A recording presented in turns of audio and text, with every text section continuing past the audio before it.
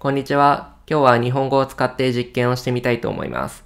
視聴者で日本語がわかる人はそんなに多くないと思うので結果が楽しみです。日本語がわかる人はもう気づいてると思うんですけど、この動画では字幕と実際に話してる内容が全然違います。この動画のタイトルもなぜ日本語を勉強する価値があるのかということで、この実験自体が答えのうちの一つになってます。多分日本語がわかる人がコメント欄でネタバレをしてくれると思うんですけど、それを禁止したりはしないです。そもそも誰も気づかなかったらこの動画がそういう実験であること自体に気づかないで終わる人がほとんどになっちゃうと思うので。というわけで説明を終えたところで何か適当な話をしようと思います。何でもいいんですけど野球が好きなので特に日ハムが好きなので野球の話をしようかなと思います。一応時差はあるんですけど仕事がなかったらネットで野球の中継を見てて2試合に1回くらいはちゃんと見てます。監督が変わって新球場もできて勝てればいいんですけど、開幕してここまでかなりがっかりする試合が多くて、たまに見てて辛いです。そもそも戦力が足りないのでどうしようもないのは分かってるんですけど、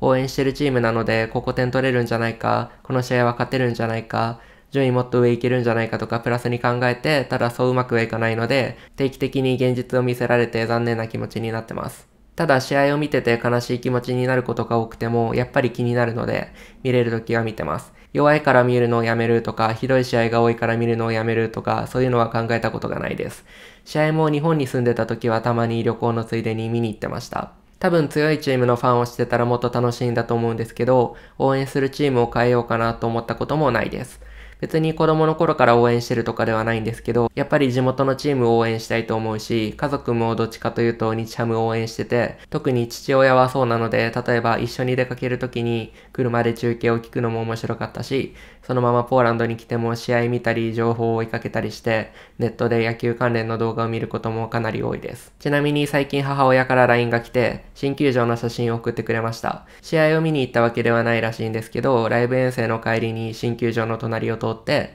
それで車から写真を撮ってくれたみたいです。本当にこの球場は個性的で確かに行ってみたくなるような場所なんですけど、アクセスはかなり悪いと聞いてるので大変そうですよね。開幕してすぐあまり人が入らなくなったみたいで、チームが弱いのに加えて行くのも大変となるとちょっと心配です。多分球団はお金がなくて補強とか設備に使う予算もなくて、それが弱い理由の一つだと思うので、お客さんがたくさん入って儲かればいいなと思います。僕はもう海外に住んでるので新球場に行ったことはなくて、建設中の時に近くを通ったくらいなんですけど、前の球場の時は多分合計で4回くらい行ってて、昔楽天の球場でもプロの試合を見たことがあって、生で野球を見るのは個人的にかなり好きです。もちろんつまらない試合をして負けると残念な気持ちでファンも変えることになるので、多分弱いチームが観客の数も少ない傾向にあるのはそういう理由なのかなと思います。あまりいい思い出にならないので。それでも球場が近くにいなくて、例えば数ヶ月に1回しか行くチャンスがないとかだと、チームが強い弱い関係なくチケット買ってみたいなと思います。